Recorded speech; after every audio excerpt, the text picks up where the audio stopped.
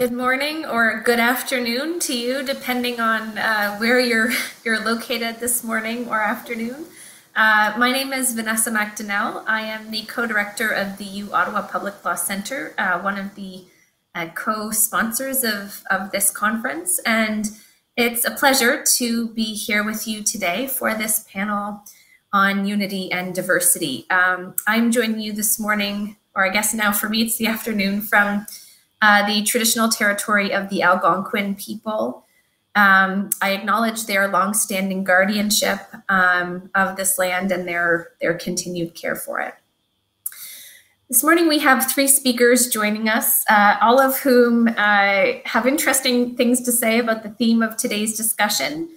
Uh, first, I'd like to welcome Mary Liston, who is an associate professor at the Allard School of Law, the University of British Columbia, uh, today, Mary's going to be speaking about Canada's ancient constitution, uh, Constitution Old and New. Uh, we also have Colleen Sheppard, who is a professor of law at McGill University, who will be speaking to us today about patriation paradigms, sovereignty, power, and rights. And then finally, we have Dwight Newman, who is a professor and Canada Research Chair in Indigenous Rights uh, in constitutional and administrative law at the University of Saskatchewan.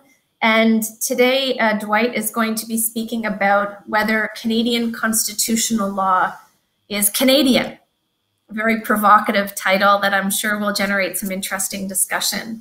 Uh, so, the way this panel is going to work today is that uh, each of the speakers will speak for uh, an allocated amount of time, and then we will have lots of time left for questions at the end. So, I'll moderate the discussion uh, at the end, but I would uh, offer or I, I would um, invite you, uh, if you have questions as they come up, to put them into the chat. Uh, and that way, when our question and answer period starts, we'll have some questions uh, ready to go. And if not, I, I certainly will have some questions for our speakers. So uh, without further ado, Professor Liston, would you like to get us started? Thanks, Vanessa. Uh, and thanks also to the conference organizers for putting together uh, this conference uh, and this panel uh, to uh, reflect on uh, our anniversary of our newer constitution. Um, as Vanessa says, or said, I'm working with an idea of, it's in quotes, Canada's ancient constitution. And what I'm going to talk about, and I think what all of us on the panel are really grappling with, is pluralism. Uh, uh, and so maybe we'll be speaking more about a, a diversity rather than unity on this panel. Um, but what I'm going to talk about builds on an article that I wrote in response to uh, Jacob Levy's lecture on the separation of powers at the Center for Constitutional Studies uh, uh, last year on the separation of powers. Uh, and I examined the jurisprudence around the separation of powers principle um, in the case law uh, and uh, discovered that there's not much to be said about it. Uh, but in the process of that, across the patriation reference, uh, which uh, was working with an older notion of uh, mm, a constitutional principle called the mixed constitution or mixed government. and so I contrasted mixed constitution with the separation of powers in that paper uh, and I'm picking that up again and working more with the mixed constitution principle uh, from the patriation reference uh, in this paper uh, for this panel. Uh, and what I hope is that one can um, bring it into a modern uh, constitutional context. and my suspicion is that it provides a better lens to talk about the various um, pluralisms that are part of our Canadian constitutional order, which includes legal pluralism, political pluralism, and social pluralism, uh, as well as different ways of describing the dynamics of formal and uh, informal power in our constitutional landscape. Uh, and so I, I, quote Dennis Baker uh, talking on the contextual nature of constitutionalism and how different elements bridge the distance between the constitutional uh, uh, forms and formality and actual political practices. Um, and it's this uh, link between uh, uh, the dynamics of informal and formal power, as well as the social nature of the Constitution, that I think the mixed Constitution, the concept of it, uh, better captures. But I'm ultimately not arguing to bring it back into the jurisprudence, and I'll say a little bit more about that later. Um, what I'd like to do is, is to suggest it could be linked uh, with the notion of constitutional dialogue, uh, and that would be dialogue uh, in an institutional sense, institutional dialogue, as well as amongst societal actors. So some of you may already know about the idea of uh, the mixed constitution. It, it comes out of uh, Aristotle's Politics. Uh, where I started and where Professor Levy started was how it was picked up by Montesquieu in Spirit of the Laws. Uh, and he combined this older idea with the principle of the rule of law, um, through which he redescribed the existing English constitution at that time uh, and uh, was able, through that fusion, to provide a foundation for a new concept, the separation of powers, uh, which then laid down a foundation for the idea of judicial independence as a defining feature of a constitutional order. Um, in Montesquieu and in Aristotle, uh, the separation of powers uh, was associated uh, with three divisions, uh, which mapped onto traditional classes or social orders, so monarchy, aristocracy, uh, and the demos or the commons. and each institution reflected one of those social classes. And so we can see that very clearly in uh, British constitutionalism with the crown and the monarch, uh, the House of Lords, uh, which originally was an amalgam of executive actors and then institutionally bifurcated to become the executive branch and the judiciary as a separate institution. And of course, the House of Commons or the legislature. Um, and so it was this emerging independence of the judiciary in uh, the English system that Montesquieu saw as a defining feature of that constitutional order. Um, out of uh, Montesquieu, uh, both Professor Levy and I um, uh, uh, identified several important premises and prescriptions around the separation of powers. Uh, that power should never take monopoly form, because that's always inimical to liberty. That constitutions both facilitate and constrain public power. Uh, that public power should be distributed to institutions with a constitutionally guaranteed independent independence and base that overlapping powers are actually permissible amongst governing institutions and actors so long as they don't violate the first three points. Uh, and that power comes in a variety of dynamics. Uh, and so it's not just uh, separating, and there's balancing, there's checking, there's constraining, there's enabling, there's sharing, there's pooling. There are a variety of dynamics. So I contend, uh, as do some others, that um, this understanding of, uh, of the Constitution, the separation of powers, and the mixed Constitution was part of the contextual backdrop to our first Constitution, of the British North America Act, and of course, in its simple scheme of government laid down in parts three, four, and five, the executive, the legislature, and, and the judicature. Um, uh, I looked to David Schneiderman uh, in his book, Red, White, and Kind of Blue, uh, where he talks about um, the fiction of the separation of powers. I don't go quite as far as that. Uh, but in reference to uh, the fiction, he uh, he claims that um, though a version of the separation of powers admittedly lurks in the background of Canada's parliamentary tradition, uh, the separation of powers is subordinate to other dominant tropes having to do early on with mixed or balanced government and later on with responsible government.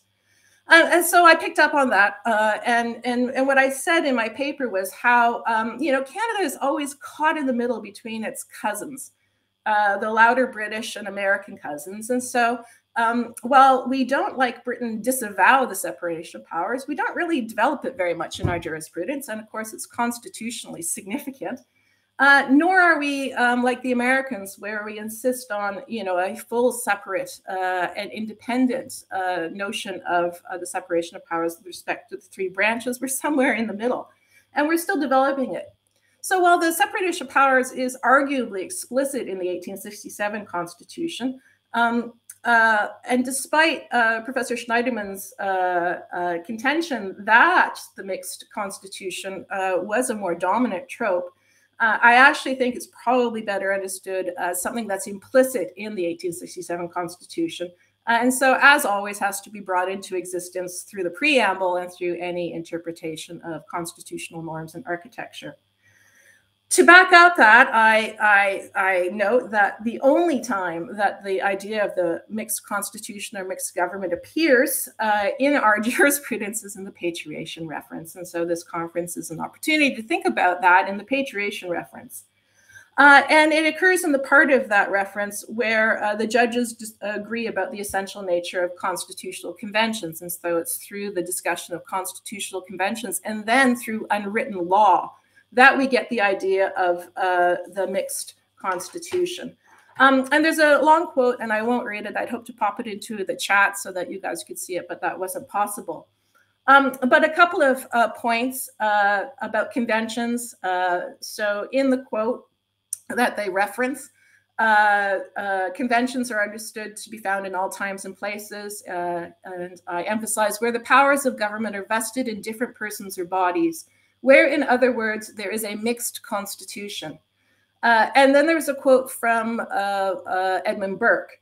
the constituent parts of a state, said Burke, are obliged to hold their public faith with each other and with all those who derive any serious interest under their engagements, as much as the whole state is bound to keep faith with its separate communities, necessarily conventional rules spring up to regulate the workings of the various parts of the Constitution, their relations to one another, uh, and to the subject.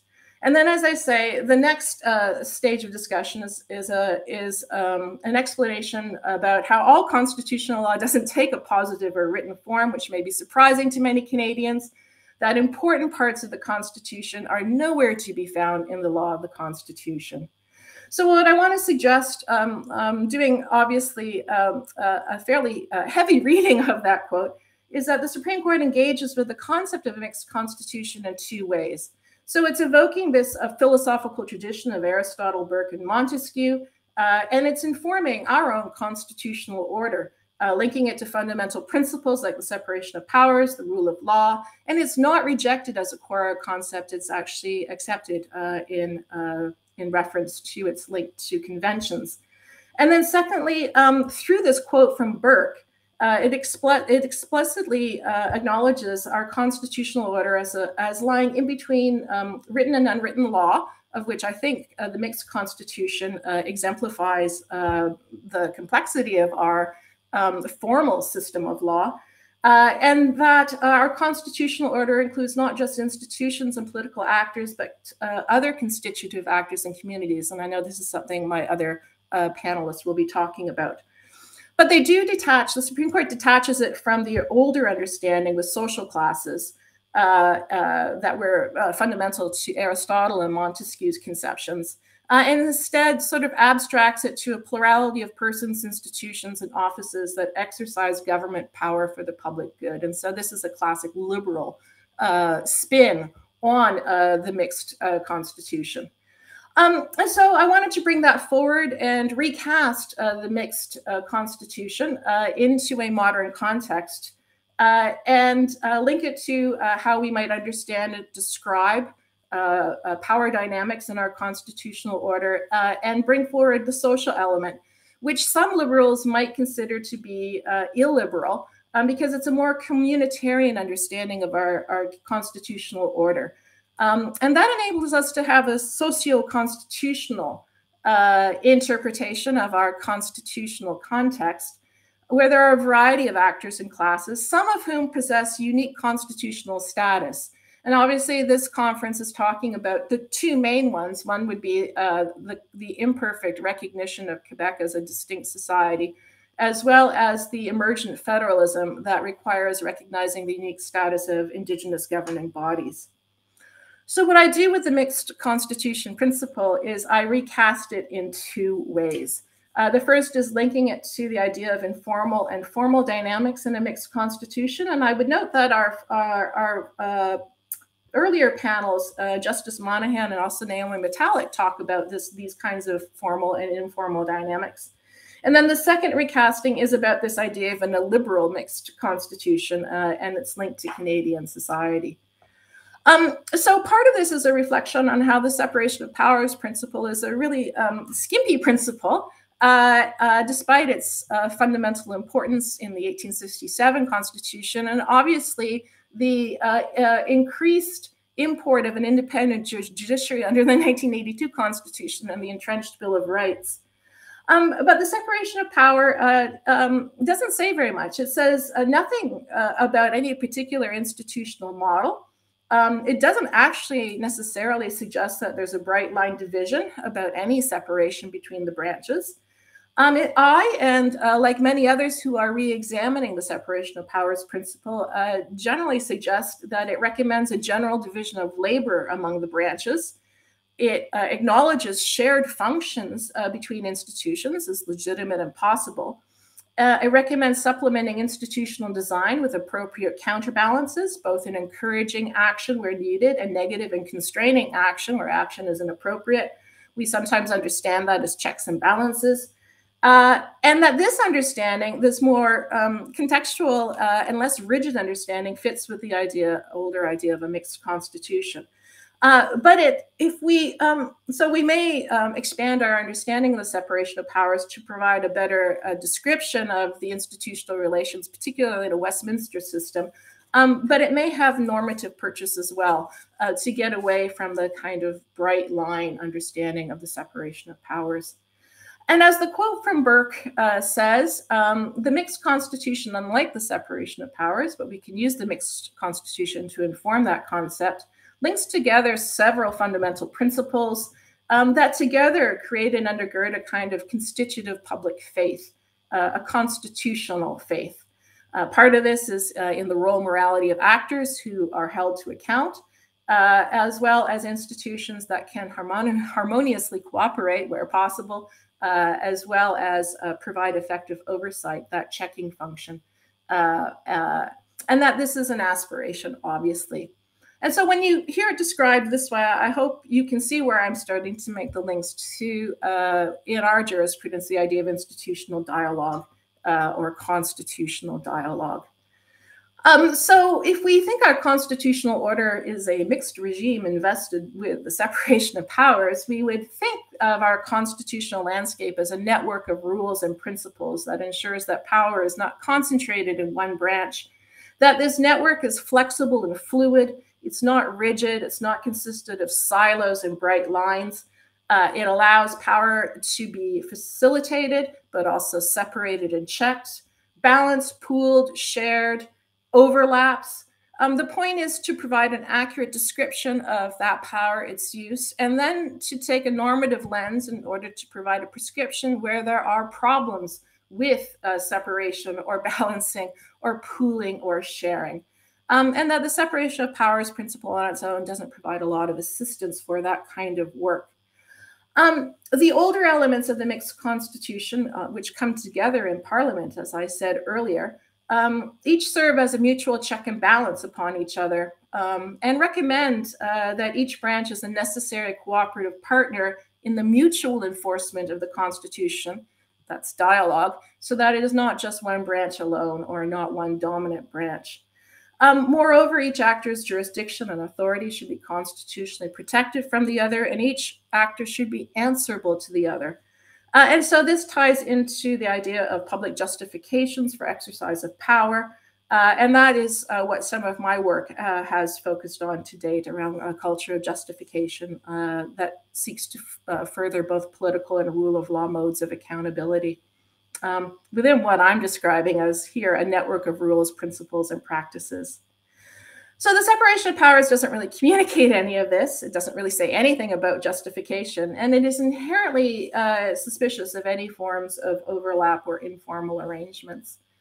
Um, uh, and so that's partly why I've turned back to the idea of the mixed constitution, um, which uh, facilitates both written and unwritten arrangements and powers, uh, and also uh, allows us to talk about parts of the Constitution that are not always visible, as the Supreme Court hinted at uh, in the quote that I have, I have, employed. So, to take three examples, uh, conventions themselves uh, uh, fit easily with the idea of a mixed constitution and its fluidity. Um, and use of often informal rather than formal power in order to secure um, an appropriate outcome. Um, but it really, they do sit awkwardly with a very formal understanding of the separations of power, the separation of powers principle. Um, the second, and that was the focus of my earlier piece uh, for the Center for Constitutional Studies, uh, that was responding to Professor Levy's paper, and I do recommend papers that all responded to that uh, keynote address. That was a great issue. Um, is the administrative state, of course. Um, since administrative bodies are governments in miniature, and so they combine and merge uh, all, sometimes all three uh, branches' powers, and that seems to violate a bright line formal separation of powers. And they also simultaneously exercise a variety of formal and informal powers especially when it comes to discretionary power, which is not rule based power, but takes a variety of forms. And so that also seems to violate some bright line conceptions of the separation of powers, but wouldn't pose a, uh, uh, a problem for the idea of mixed government. Um, uh, a third example is talked about by Dennis Baker in his uh, um, a paper uh, on constitutional dialogue in an edited collection around constitutional dialogue, uh, where he talks about coordinate construction of the Constitution. And I mention that because um, uh, I'll return to that at the end. But the idea that no one branch uh, has sole control over interpreting the Constitution, it's a form of interpretive pluralism, uh, uh, is in his mind an example of a, a, modern understanding of the separation of powers, uh, as well as uh, an example of constitutional dialogue. Um, and of course, those of us in administrative law have long known that uh, uh, there are shared interpretive functions between courts and administrative actors.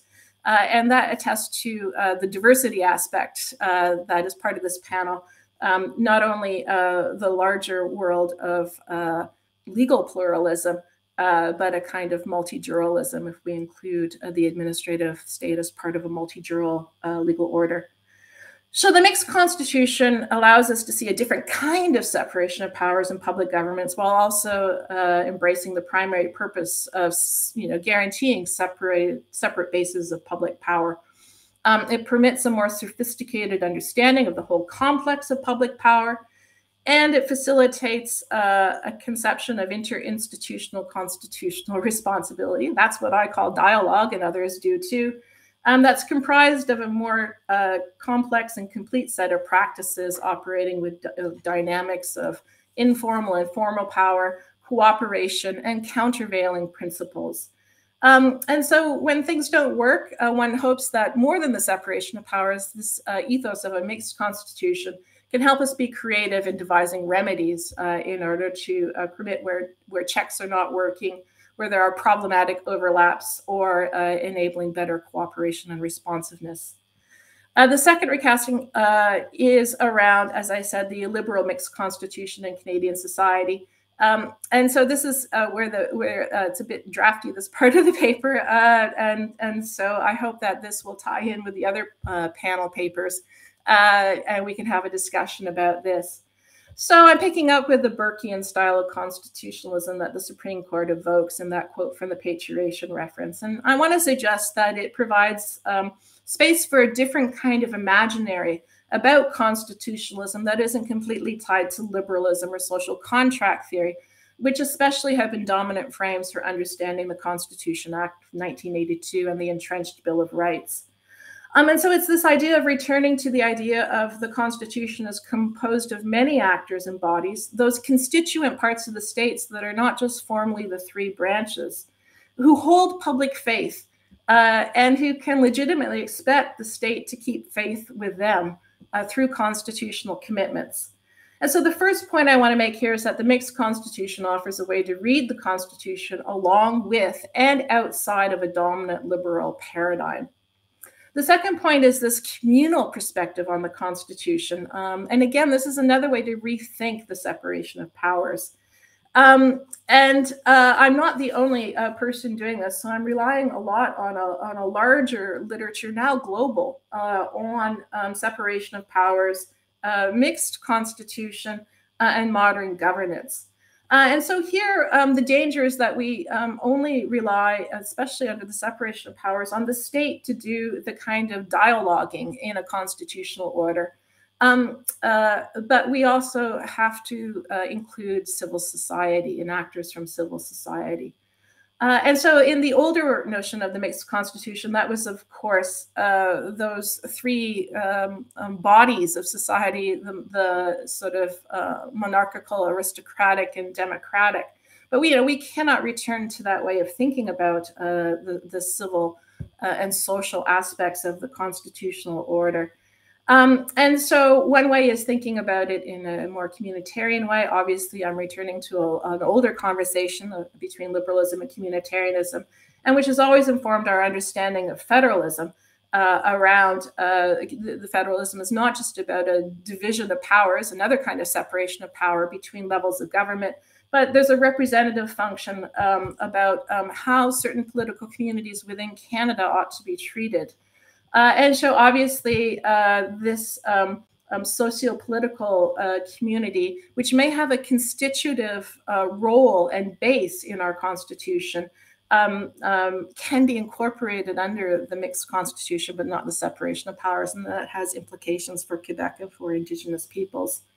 Stretched further, uh, which is what I want to do and where I'm going with it, is that we could see how institutions that are traditionally not uh, viewed as constitutional actors are. Uh, and so we have uh, new literatures trying to understand bodies like Elections Canada or the Bank of Canada as parts of the constitutional order, although we would never have thought of that, you know, 15 or 20 years ago.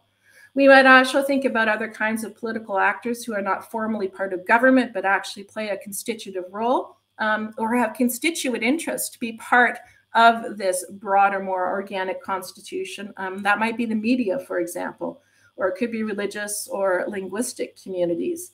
Um, but my point here is that these um, this idea of, uh, of uh, the societal dimension of the Constitution that the mixed const uh, constitutional principle evokes um, uh, would be helpful in understanding a, a, more contextual constitutional landscape. So I know I'm at the end. Uh, so uh, what I will say uh, is just two points. Um, uh, I I want to revive uh, the mixed constitution and in the way that it is related to, but distinct from the separation of powers.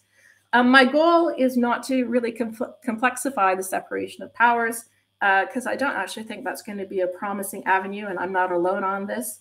Uh, that I'm not aiming to bring back the idea of a mixed constitution as a live constitutional principle. I think that would involve too much interpretive work. Um, but I do think that it is possible to uh, read some of the um, uh, descriptive and prescriptive potential that the mixed constitution provides for us uh, in the idea of constitutional and institutional dialogue. And, and where I end on this point in the paper is where others like uh, Eoin Carolan in his book, The New Separation of Powers, and Aileen Kavanagh in her work on the separation of powers also end up. Uh, is is that we uh, we all settle on we've got to revive the idea of institutional and constitutional dialogue, which has unfortunately lain dormant in Canada for 20 years now uh, and uh, that it might be a more fruitful way of talking about uh, various forms of pluralism and accountability in our constitutional order. Um, and so I'll leave some other points for a discussion and question and answer. Professor Liston. Uh, uh, we now turn to Professor Shepherd.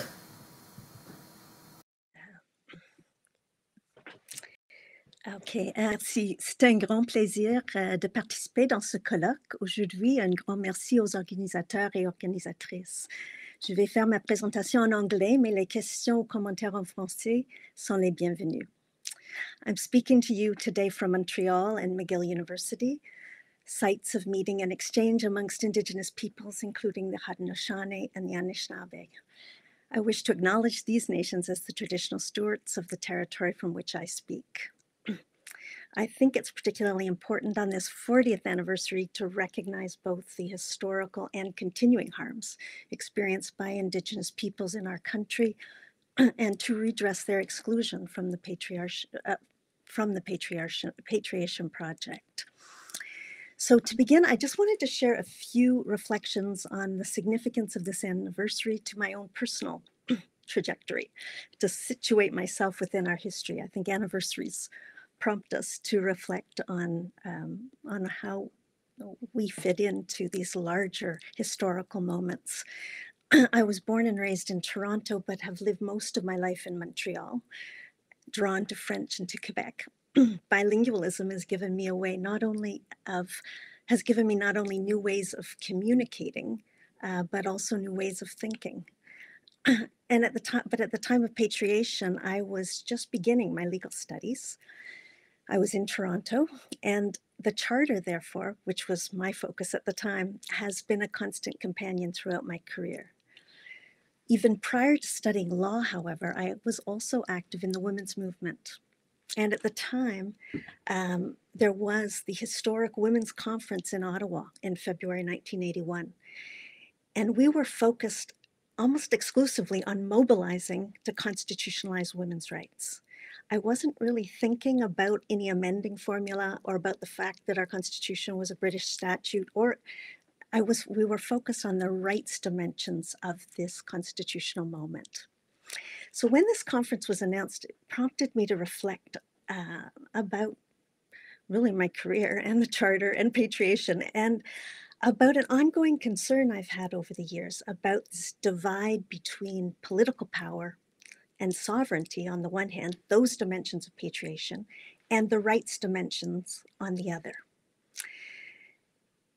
So, in my presentation today, which is uh, sort of called Patriation Paradigm Sovereignty, Power, and Rights, I put together the abstract before I was quite sure of my argument, but I've worked it out over the last few months.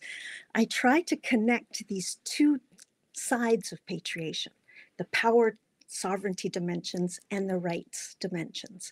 And most specifically, I want to argue that the concepts of sovereign authority and power, which I wasn't thinking about back in, in 1981 and 1982, I want to argue that those are critically relevant to the groups and communities who so many years ago mobilized for constitutional rights. And think about how we might reconceptualize rights both Indigenous rights and charter rights to redress and to address power inequities and governance issues. So I want to do three things today. One, I want to just set out the standard sort of patriation paradigm or story. Then I want to identify a few important challenges to this dominant paradigm. And then I want to outline the contours of an alternative paradigm for patriation. So Arguably, it is only when sovereignty and rights are reshaped towards a new paradigm of patriation that we will actually be able to celebrate fully the coming home of our Constitution.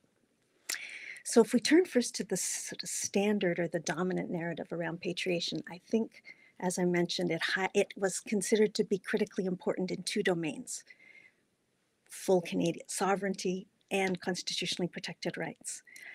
Patriation was seen as sort of breaking another strand in Canada's colonial relationship with Britain. It constitutionally entrenched a range of rights and freedoms, including Indigenous rights. Uh, but these two sides were viewed differently by diverse communities and political actors.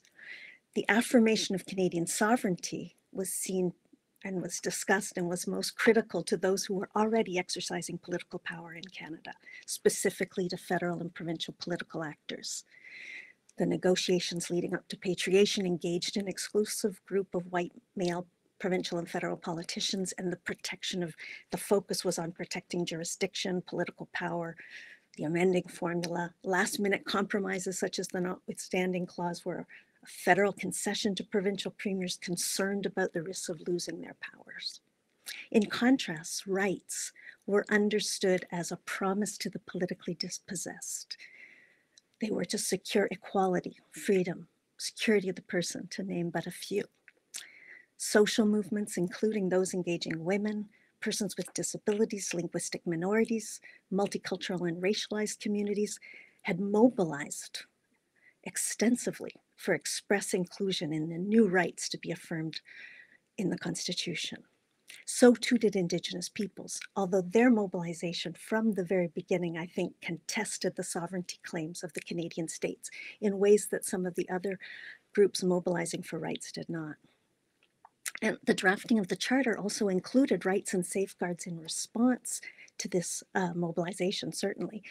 Um, and specifically, um, the textual provisions in the charter were designed to ensure that the judiciary would give a const- would give constitutional rights and freedoms an expansive and generous interpretation that we would shift away from the more narrow and formalistic interpretations of rights characteristic of the Canadian Bill of Rights jurisprudence. So this I think is one version of the story of Canadian constitutionalism. I want to suggest, however, that there's another version that lies beneath the surface of this standard story.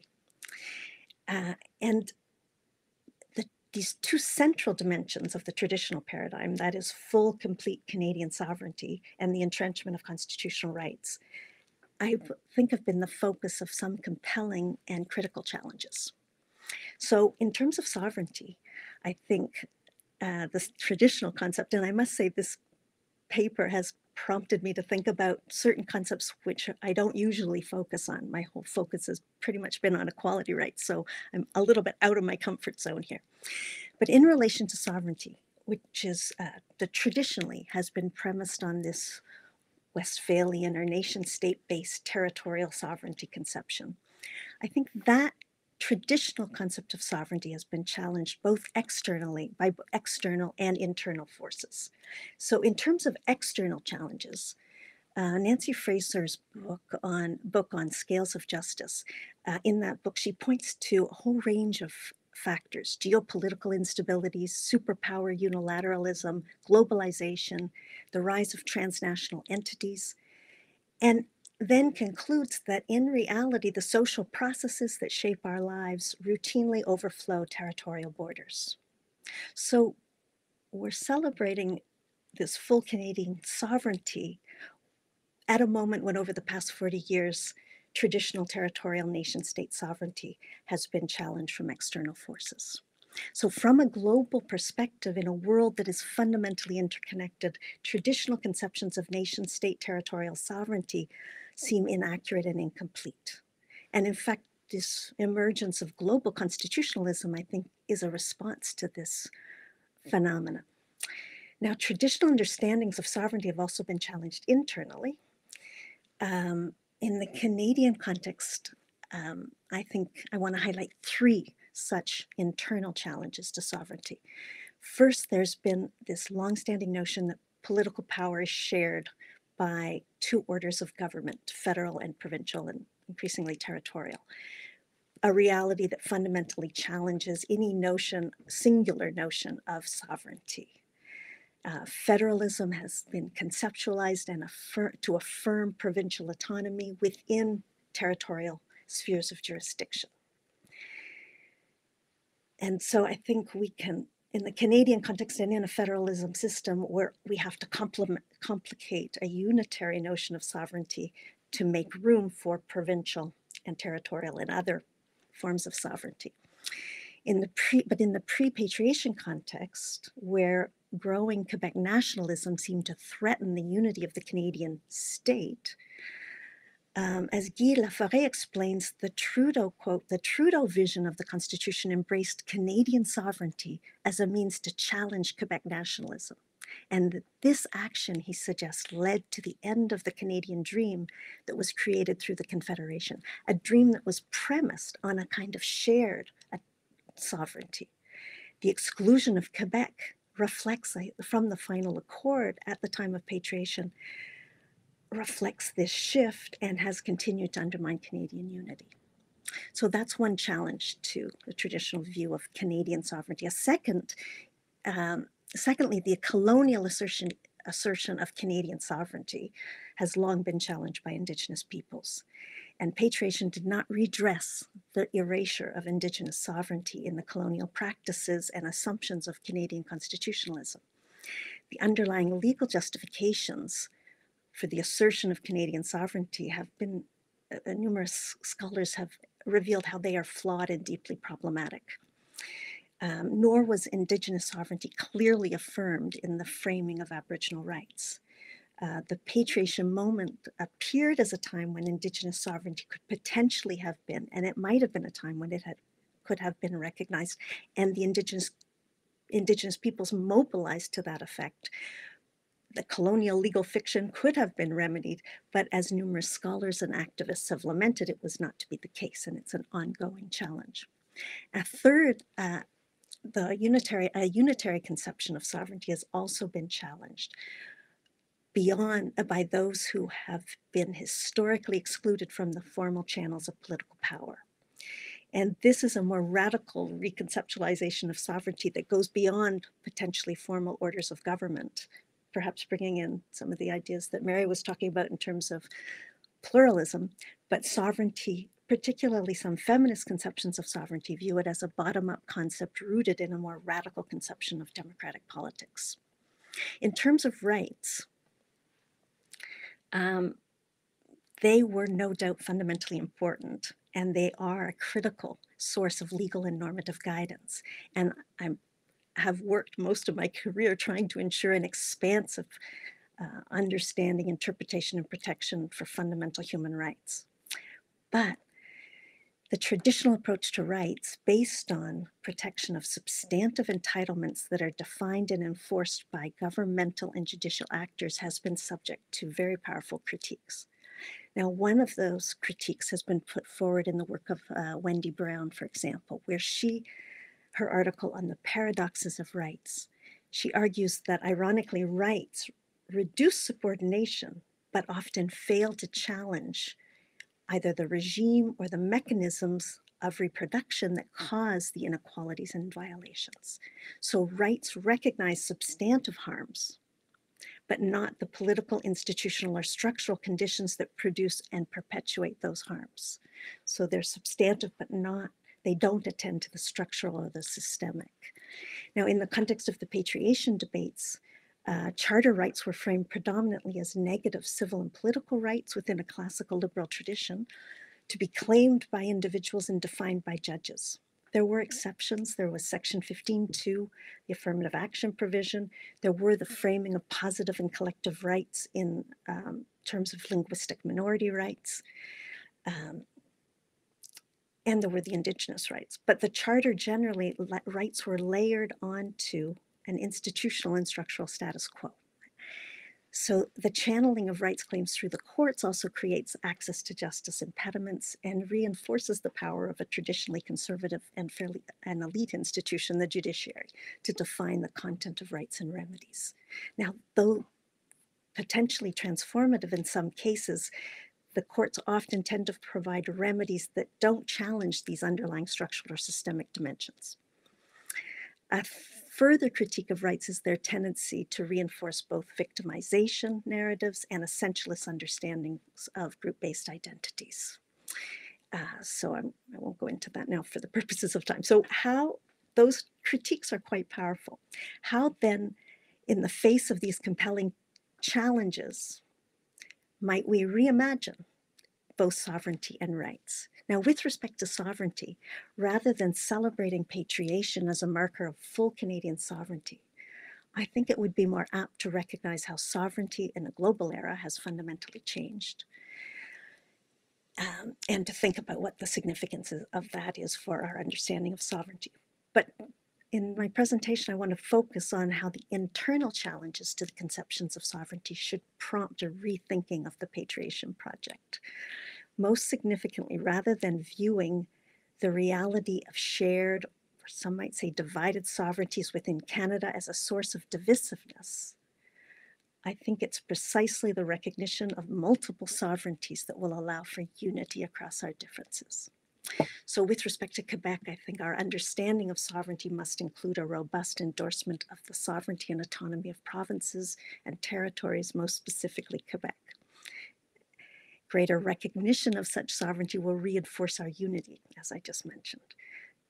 Concepts such as asymmetrical federalism or equitable federalism, attentive to divergent provincial and territorial realities, I think is the only way to solidify the unity of our confederation. With respect to Indigenous sovereignty, it's a critically important dimension of an alternative patriation paradigm it's if we are to imagine a future where real uh, reconciliation is actually realized, I think that the inherent sovereignty of Indigenous peoples has to be a critical part of that. Uh, now, one alternative approach, which recognizes a rethinking of sovereignty, was put forward, and I'll just present one idea uh, in the final report of the Royal Commission on Aboriginal Peoples, where they emphasized that shared sovereignty is a hallmark of Canadian Feder- of the Canadian Federation and a central feature of a three-cornered relation between Aboriginal, provincial, and federal governments. These governments are sovereign within their respective spheres and hold their powers by virtue of their constitutional status rather than by delegation. So there we see already back in the 90s a reconfigured vision of sovereignty.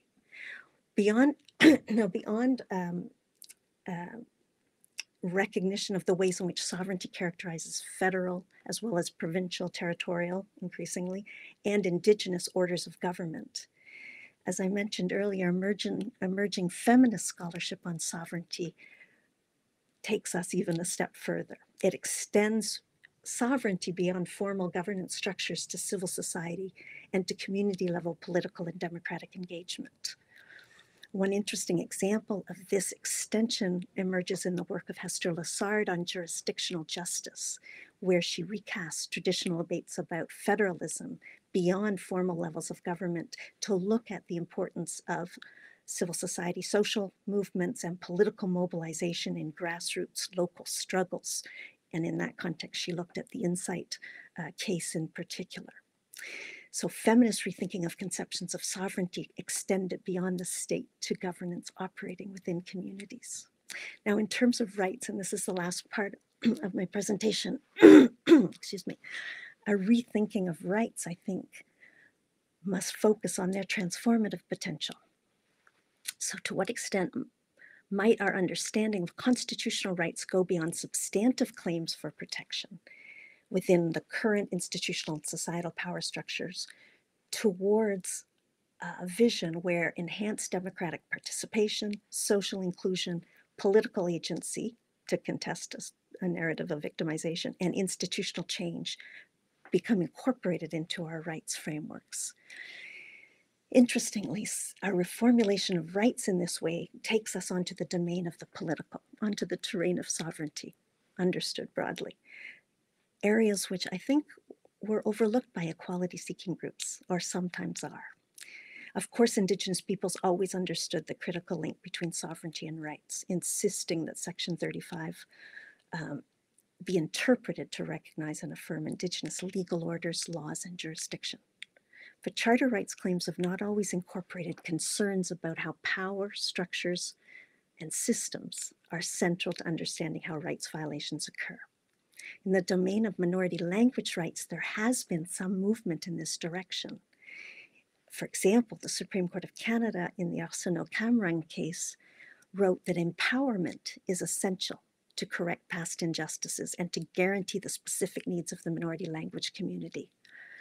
Um, if we turn to equality, which is the area I've done most the most work in, um, at the time of patriation, as I mentioned, we were mobilizing to include rights and include, inc- eh, secure an expansive interpretation of them by the judiciary. But much of the mobilization still assumed the, still presumed the retroactive um, that retroactive right claims would be made by individuals and channeled through the apparatus of the courts. Uh, over three decades later, as equality rights continue to be a contested terrain and at a time when provincial governments are using their sovereign authority to opt out of the charter um, and out of their provincial human rights obligations at the same time, the significance of Section 28 is being put to the test. Uh, and I know figuring out how all these sovereignties relate to each other is something I haven't yet worked out. But nevertheless, with respect to equality, um, courts have steadfastly endeavored to elaborate a substantive conception of, of constitutional equality with its lodestar of equitable outcomes. But even beyond the importance of affirming a robust substantive definition, I think we need an approach to equality that is attentive to the systemic and structural dimensions of its reproduction. And this would open up the potential for more transformative constitutional equality rights to remedy discrimination that is embedded in systems and structures requires new ways of thinking about rights that attends to um, the systemic and structural dimensions, as I mentioned, and that moves towards more innovative and forward looking remedies. Uh, such transformative remedies, and I'm thinking also interesting um, in Naiomi Metallic's speech about uh, structural injunctions and courageous remedies. One must could think about how they could redress institutional and societal exclusion, from decision-making processes and democratic governance. In my own work, I've called this approach inclusive equality because it builds an approach to equality that requires political and social inclusion, specifically of those who have been historically and structurally excluded from political power, sovereignty, institutional decision-making, and structures of democratic participation. So to conclude, uh, in reflecting on patriation, uh, the patriation anniversary, I've come to realize there really can be no clear dichotomy between sovereignty and rights, despite the fact that I lived the moment historically in that way. That sovereignty instead should be conceptualized in a context where power is shared, relational, and multiple, and that it also should extend and be relevant to communities within civil society and that this reconceptualized understanding of sovereignty is also central to the realization of rights, uh, such that they not only guarantee important substantive guarantees, but also secure the inclusion of historically excluded groups and communities from the systems and structures of political power and institutional decision making. Merci, uh, tout de votre attention. Professor Sheppard. Uh, so finally, we will go to Professor Newman.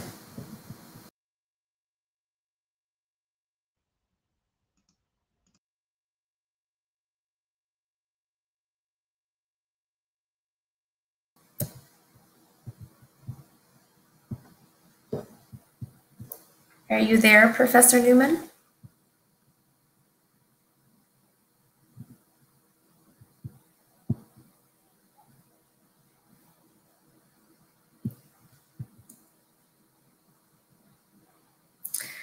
Okay, but maybe what I'll do at this juncture is, um, okay, I think uh, Professor Newman is going to uh, be joining us here in a moment. Uh, in the meantime, I would invite you again, if you have uh, questions that you'd like to ask of the panelists, uh, to feel free to put those questions in the chat now uh, so that we have time for a few questions at the end and, and we can get ourselves organized.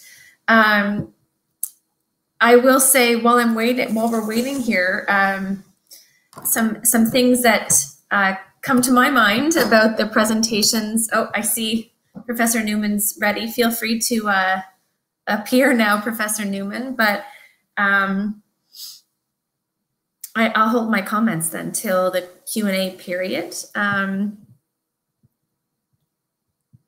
are you there?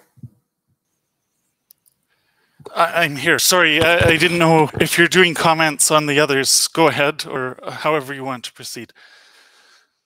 I was just killing time. So uh, why don't you uh, go ahead and uh, we will all have an opportunity to discuss at the end. Okay, sorry about that uh, confusion. There just uh, arose something here. But um, uh, in 27, so first of all, thank you for having me here. And um, uh, it's a very important conference, and I'm very pleased to be able to be part of this panel uh, and alongside such important papers as we've just heard. In 2017, Anthea Roberts published an important book, Is International Law International, in which she asked whether there was actually a unified approach to international law across jurisdictions or whether approaches to international law differed significantly within different cultural and educational systems and thus jurisdictions. She went further than asking that question, but amassed significant evidence on uh, the education of international law academics in different countries, international law textbooks in different national contexts, and ultimately different and competing national traditions of international law. While I won't here amass the same quantity of material in response to the question, I raise here a question inspired by hers, asking, Is Canadian constitutional law Canadian? To be clear, I ask that question not in the sense of whether Canadian constitutional law is distinctive relative to the traditions of other states, such as the United Kingdom or United States, but rather whether Canadian constitutional law is unified at a pan Canadian level. Is there one patriated body of constitutional law across Canada, or are there sufficient indications as to raise questions about such a claim that would warrant further and more detailed investigation? I'm going to claim that there are significant disunities in the body of Canadian constitutional law. I will highlight troubling cleavages on linguistic lines, lines related to association with divergent models of constitutional sources, and lines associated with approaches to constitutional interpretation. Overall, I will argue that there must be significant questions on whether there is indeed Canadian constitutional law that is pan Canadian that warrant a lot more attention. Consider first some of the linguistic cleavages present within the context of English French bilingualism. These cleavages have more effects than often realized on constitutional text itself, on case law, and perhaps most significantly on constitutional scholarship and its ongoing contributions to constitutional debates. Turning first to the matter of constitutional text. Obviously, the Constitution Act 1982 was adopted in an officially bilingual form. There are linguistic discrepancies between the two official versions that have given rise to case law on how to reconcile those, such as with the differing versions of some words in the Section 24 Remedies Clause in the Charter. Or where case law has not yet arisen, there has sometimes been scholarship noting some of the potential future discrepancies to be subjects of analysis, such as in differences in the Section 1 Limitations Clause of the Charter. But in one sense, with those, everyone is wrestling in principle with the same bilingual text, even if at a practical level, only one language version receives attention in many cases in parts of the country not inclined uh, to engage in the first instance in extensive bilingual discussion.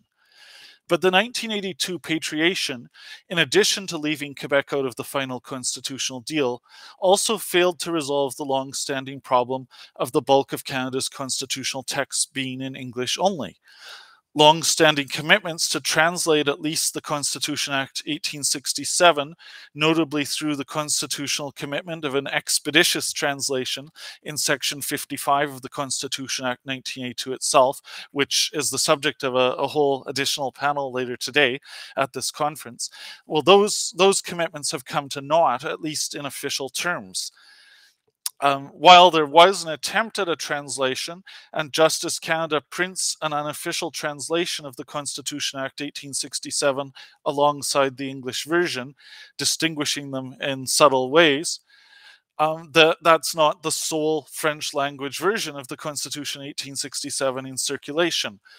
The government of Quebec has recently produced what it calls an administrative codification of the Constitution Acts in relation to the Constitution Act 1867, the French language translations set out in that work are related article by article to versions proposed within texts by various constitutional scholars, or where available, translations within Supreme Court of Canada judgments then attributed to, to those justices whose judgments had been translated. The result is the consolidated text set out within that work differs from the French language version distributed by Justice Canada. And uh, examining those, I think that those are sometimes differences in ways that could be legally significant if one considered the two different texts. So there are actually differing constitutional texts in use, um, such there are actual cleavages on, on the constitutional text itself.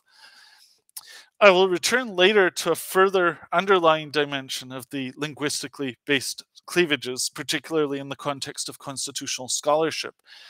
Um, for the moment, though, it's worth noting that a different set of cleavages arise in relation to what sources count as constitutional sources in Canadian law, with some of these cleavages being more technical and some being more interpretive.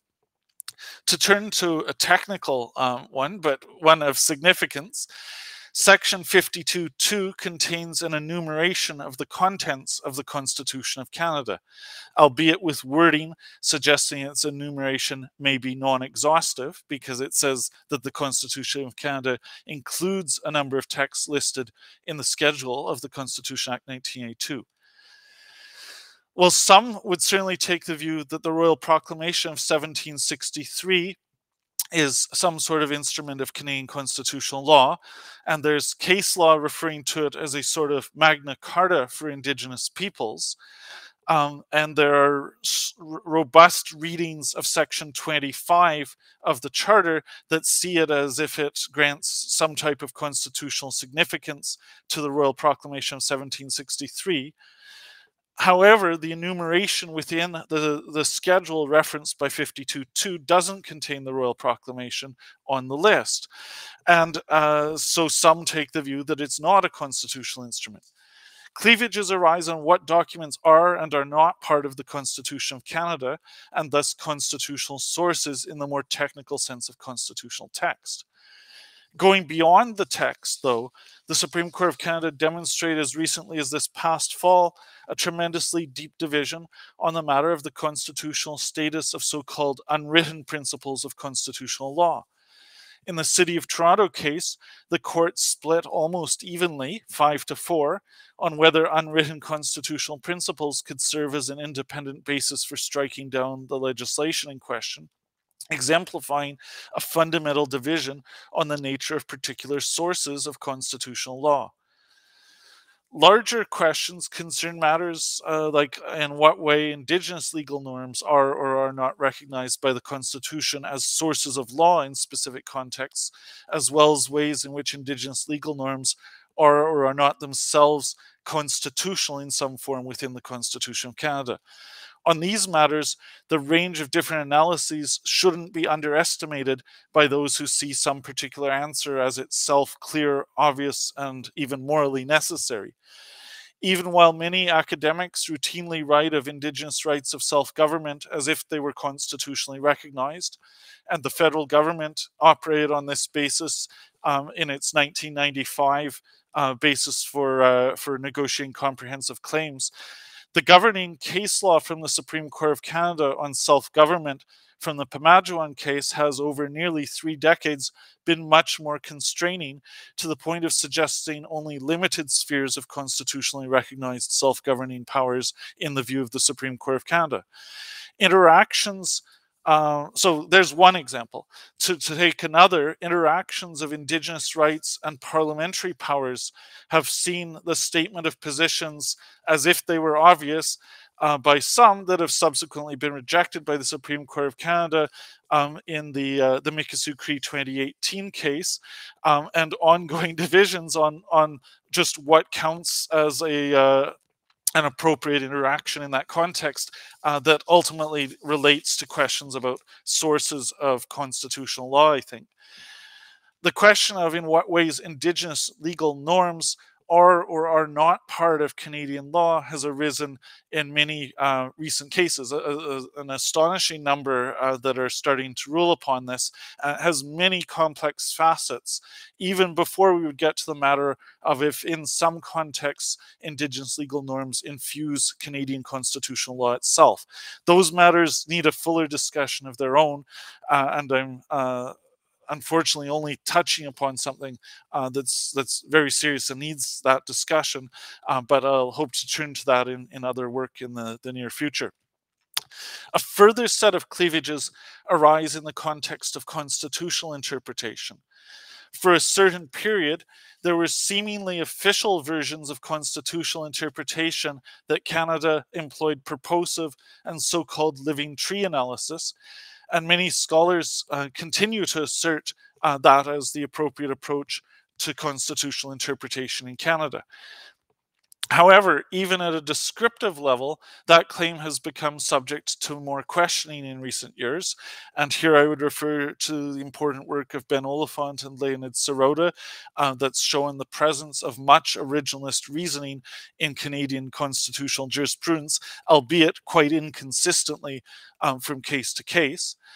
Beyond that, um, the invocation of the so-called living tree principle through much of the charter jurisprudence has come under different kinds of questioning as well, going beyond descriptive challenges, including an important work by Professor Bradley Miller, as he then was, uh, that raises the question of whether that uh, that invocation had properly invoked the uh, the precedent from the Persons case um, uh, or had distorted the reasoning of the Persons case in how it had been invoked to support living tree analysis. Saying these sorts of things might make the point only that there's messiness present, more so than that there are actual cleavages on constitutional interpretation. But there are actual real differences in what's stated on constitutional interpretation by those who continue to adhere to so called living tree analysis and those increasingly putting forward originalist and textualist methodologies of constitutional interpretation. And I'd suggest that those methodologies are far more widespread than many might have realized to this point. I would cite here the important paper of Justice Colin Feasby that's being presented uh, tomorrow within this same conference um, that identifies a very strong move towards originalist and textualist methodologies in constitutional interpretation. But there are real cleavages there um, because uh, there's a disagreement over the very method of interpretation. Uh, and there would be a disagreement um, between those adhering strongly to one version or another on whether the arguments of the other side even count as constitutional interpretation. Um, that, that arises in constitutional interpretation generally. We could also raise specific issues. To consider one specific context, I would point to radically different views on what one might call the classical tradition of Canadian federalism, as experienced in various clashes over federal assertions of power in recent years. Here, the divisions again reach deeper than disagreements about the law within shared premises on how to approach the law, but they relate to matters like whether certain arguments count do arguments about the consequences of particular division of powers determinations count as arguments on the constitutional issue at stake? There would be different views on that. Do arguments derived from the constitutional text about particular powers count as arguments or not? And again, there would be people who argue both sides of that, um, as we see in some of the recent cases these aren't just disagreements on weight, but real cleavages about what even counts as an appropriate form of constitutional argumentation and constitutional interpretation. In a short comment on this topic, I can't purport to explain fully these linguistic, source related, and interpretation related cleavages or their origins. But thinking about their origins, it's not difficult to suggest that there could be various self reinforcing phenomena at play. One can amass evidence in various ways that Anglophone constitutional scholars have largely not cited Francophone constitutional scholarship. Uh, not to say they never have, but uh, there's a significant undercitation of Francophone constitutional scholarship in Anglophone constitutional scholarship and then that's something that would tend to be perpetuated over time um, by those who read uh, the scholarship that doesn't cite the other scholarship. One can point to evidence of different canons of central constitutional cases divided across parts of the country, as between, for example, Quebec and outside Quebec. Um, uh, and as between parts of the country where indigenous issues play a more central role and those where they receive less attention. And the pedagogy of those canons of what are the leading constitutional cases will get perpetuated because they're the cases that are taught.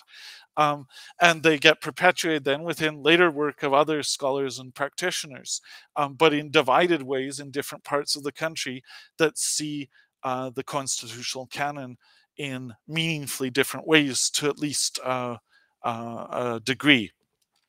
One can point to signs of areas of constitutional law that are actually developing quite differently as between different provinces. And uh, in the, the, the paper, I'll cite some examples as between uh, Quebec case law that's developed in ways that that haven't been really noticed outside Quebec, uh, these, these sorts of matters. One can speak anecdotally of constitutional pedagogy being substantially different in different law schools. Uh, just to give one example at a very anecdotal level, I can say that the amount of time spent in a first year constitutional law course on division of powers, as distinct from uh, charter issues, which tend to dominate it, ranges from a full semester at some law schools to two months at some law schools, to two weeks at others, or in one instance of which I heard recently, uh, two hours. Um, so one can speak of constitutional law courses at schools that uh, that teach very differently about the contents of Canadian constitutional law. Um, we could go on to, to other examples of that, but I, uh, I should wrap up briefly. Um, I'll just say that again, that kind of pedagogy perpetuates itself in some ways. So it it reflects a cleavage that exists, but it perpetuates a cleavage for the future. Um, if there's uh, if there's any systematic dimension uh, to how that divides, and I, I think there is. Part of the Canadian constitutional legacy, even four decades after patriation, includes some fracturing across the very face of Canadian constitutionalism. I don't want to end on an entirely pessimistic note, um, although uh, uh, I think there are some real challenges ahead. But there are ways forward as well, and they have to involve uh, more reading across our differences and more intense scholarship and simply more investment in serious study of Canadian constitutional law as Canadian uh, uh, and as uh, as something uh, that brings together people across differences within the country. Uh, we need to be dialoguing about curricula and pedagogy and substance, and there there are no easy ways forward, but there's much more work ahead. Um, patriation was uh, one way station, uh, but there are many miles ahead in the post-patriation uh, legacies uh, that aren't just something that we take on board, but something that will continue to define in the decades ahead. So I'll leave it at that and look forward to our discussion. Thank you, Professor Newman. I'd like to invite uh, all of the speakers to turn on their cameras now for the Q&A period. Um, so far, we don't have any questions in the chat. I would invite folks if they'd like to uh, pose questions to our, our speakers. In the meantime, I do have uh, questions for each of the speakers. Um, and I'll start with uh, Professor Liston.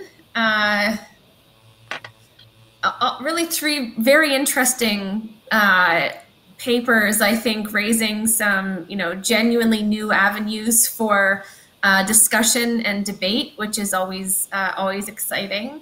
Um, Mary, I don't know if I'll be able to get this question off right. So, you know, apologies if I, I don't. But um, I guess my question for you is in thinking about this kind of contemporary um, rendering of the mixed constitution that I think you're ultimately advocating for.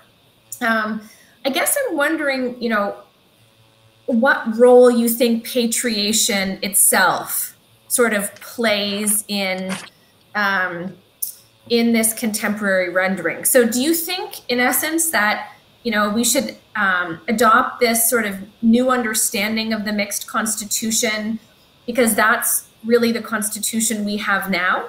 You know, um, as a result of the kind of combined effect of the old and new constitution. So, is there something about 82 that's significant? Um, do you think that this is just an account that reflects the contemporary reality of of Canadian uh, public institutions. I've been reading some work by Professor Berger, where uh, Kate Glover Berger, where she talks about, you know, we need an account of the constitutional role of the administrative state that just reflects the admin state we have now. Um, or do you think, and these are maybe you have some other explanation, or do you think that, you know, what you're advocating for is a sort of corrective account, right? Like a, um, a version of the mixed constitution that um, takes an idea and makes it kind of relevant and applicable in in you know Canadian modern Canadian constitutional law. Um, you I, I, these are questions that I myself struggle over in trying to think about the relationship between the old and the new constitution. Um, so I'm very curious, kind of how you end up with those um, with this account that I find very appealing. Um, there we go. I'll do my best, Vanessa. um, uh, but some of this touches on some things I'm still thinking through.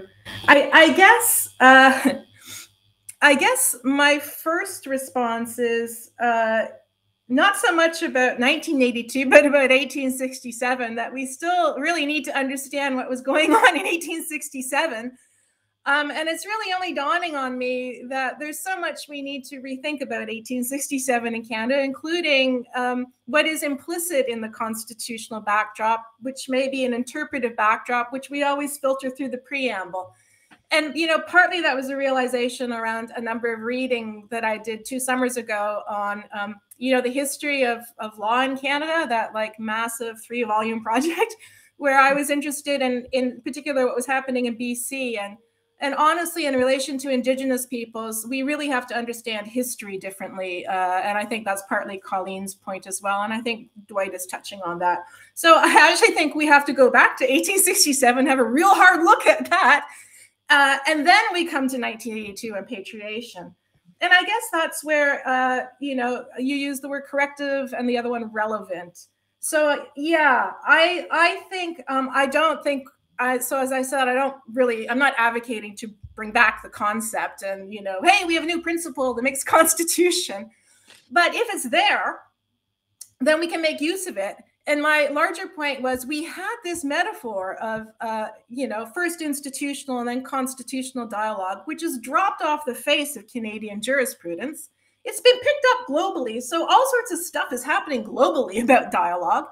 And it seems to me that's a fruitful place to begin rethinking some of this. And now, one of the plot, which, as you point out, has coming out of my own work in administrative law and other administrative law scholars, which is, you know, dialogue has been happening in administrative law like forever, uh, including remedies and interpretation. So maybe we should think about subconstitutional law, like administrative law, for insights about constitutional law. And the second is to get at the different dimensions. So there are other theories of dialogue, which are about democratic dialogue, participatory dialogue, uh, federalism as dialogue.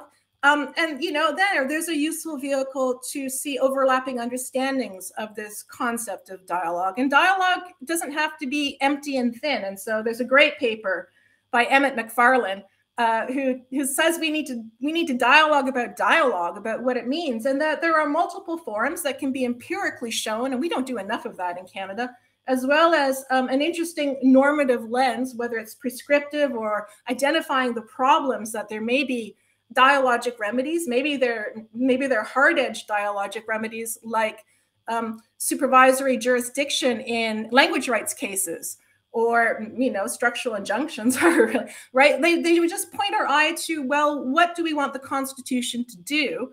Which is a reflection of where we are which is we can't have it do everything. Uh, some things are impossible as our first panel talked about amendments. So we have to go to other formal and informal modes of constitutional change.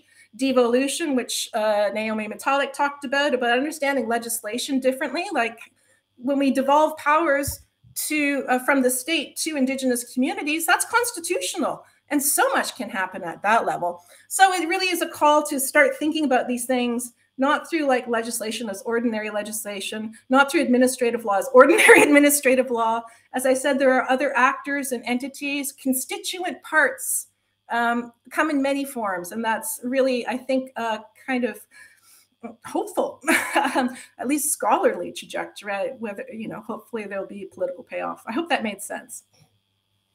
Did yeah, and you know, I'm happy to hear you say you're still thinking through this because I think you know my impression of so many of the ideas that were discussed today is that these are you know this is the beginning of, of new conversations about you know where uh, the canadian constitution is headed okay there's a question here in the chat um, for Professor Newman. Uh, and here it is. If uh, okay. Uh, challenges aside, is the existence of the cleavages that you discuss potentially a good thing? In the sense that democratic constitutions are meant to speak uh, uh, to people of fundamentally differing views.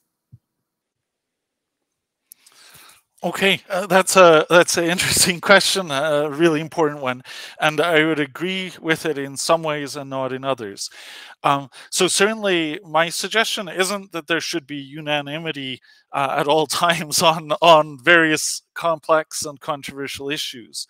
Um, uh, there'd be something wrong if if everyone were in agreement on everything uh, as well. Um, uh, there could even be really fundamental things on which there could be um, a transitional disagreement while we're sorting things out, and that that could be a very constructive thing as we realize something new. Um, and I I would be open even to the possibility of certain kinds of permanent asymmetries within uh, the constitutional order, and it's something that's been proposed in the context of Quebec in various ways, um, possibly other provinces as well, um, uh, that uh, that may want to engage in the development of different kinds of uh, asymmetries um, in uh, in exactly how they fit within the the federation um, th- those those wouldn't be the kinds of things I'm concerned about.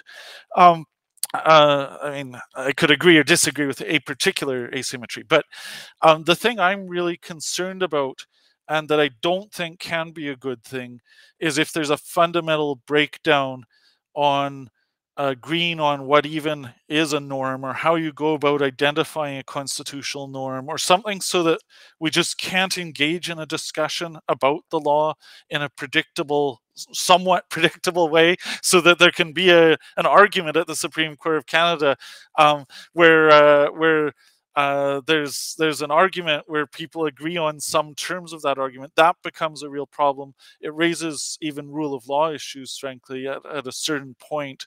Um, if uh, if the law were to be rendered sufficiently unpredictable uh, that uh, that governments couldn't act based on it because there's such a, a disagreement in the the underlying arrangements for it. So um, I think. Um, there's there's some value in uh, disagreements certainly, uh, but if they reach the point of real cleavages, I think there are reasons to be concerned. Thanks. And Dwight, I mean, Dwight, my, I really enjoyed your your talk. My sense is, um, you know, much also depends on, uh, you know, the where the cleavages exist. So it's one thing if legal scholars are, you know, we're sort of incorrigible, right? Um, we live to disagree with one another. And and that can be quite generative. Um, it's you know the matter is quite different if, if, as you're saying if you are talking about the supreme court of canada or you know the executive that needs to follow some you know semi-authoritative uh, you know account of the constitution there these types of cleavages are, are much more problematic. Okay um, we have about five minutes left and i'd like to go to colleen. Um, you know, Colleen, I think one of the uh, tensions that about patriation that your your paper brought out for me is, and I, I really hadn't thought about this tension until you you mentioned it. Um, is the way in which, on the one hand, um, you know, state sovereignty, uh, Canadian sovereignty was an important product of patriation. Um, so on the one hand, you have this sort of full territorial sovereignty, um, as you're saying. Uh, at least that's kind of the account. And of course, we recognize the ways in which that's you know largely premised on a, a colonial fiction. Um, on the other hand, you have the account of rights. Um, you know, rights coming along with sovereignty, and and I guess what I see there is you know sort of simultaneously the uh, the establishment of some form of territorial sovereignty vis-a-vis the UK, but then also um, real constraints on sovereignty, right? In the sense of accepting the charter, accepting indigenous rights, even in this sort of um, fairly modest way, as being constraints on state action. Um, and so I'm wondering, um, you know, if if you've thought about that at all. I think you talk about sovereignty and rights um, but I wonder if you've thought it, uh, at all about the ways that those two things actually do pull us sort of in different directions, right? And and what that means ultimately um, mm-hmm. for discussions about you know what Canadian sovereignty is. Um, I, have you know done a little bit of work in the context of parliamentary sovereignty, and my argument there has been that rights you know, diminish parliamentary sovereignty. Um, I, you know, all, and and also in you know talking about Indigenous rights, that those um, that you know parliamentary sovereignty was always uh, that Indigenous rights and Indigenous sovereignty was always kind of a carve out in terms of the available sovereignty, right? So the most sovereignty you could ever have would be sort of whatever remains once you account for that pre-existing indigenous sovereignty. So just wondering if, if you've um, thought about yeah. that significance of, of those pulling in different directions. Yeah, that's really interesting. And um, I'm still working through the ideas in this paper. I'm in the pretty early stages, but I, as you were asking your question, precisely this idea of the shift from parliamentary sovereignty, full sovereignty, which is internal to this idea of consti- or from parliamentary supremacy to constitutional supremacy and the rise of the role of the courts really as a check. We already had it in terms of division of powers, but also moving into a rights domain. Yeah, I think that's a check. And it may be that it goes to some of Mary's points about the idea that power is always shared and there shouldn't be a monopoly on power. But I was thinking about rights more in terms of how we need to re- we have to expand our conception of rights to take rights into the domain of power structures and systems and that that then gets us at questions that allows us to potentially use rights as a way to rethink how we govern ourselves and how we govern ourselves in the complexity of multiple sovereignties in terms of various formal levels of government as well as informal governance. So maybe that's not a full answer, but I, I take your point. There's whole range of constraints on sovereignty. And um, yeah, I'll leave it at that. So yeah, thanks. Well, you never really know when a panel is organized how the individual papers will fit together, you know, especially when you're working several months in advance. But uh, I think, you know, there, there's lots of overlap in, in the papers that were presented today. And uh, so I'm very grateful to all three of you for your comments, um, your presentations, and your answers to the questions. And uh, thank you to the audience as well. Okay. Thank you. Thank you. Bye.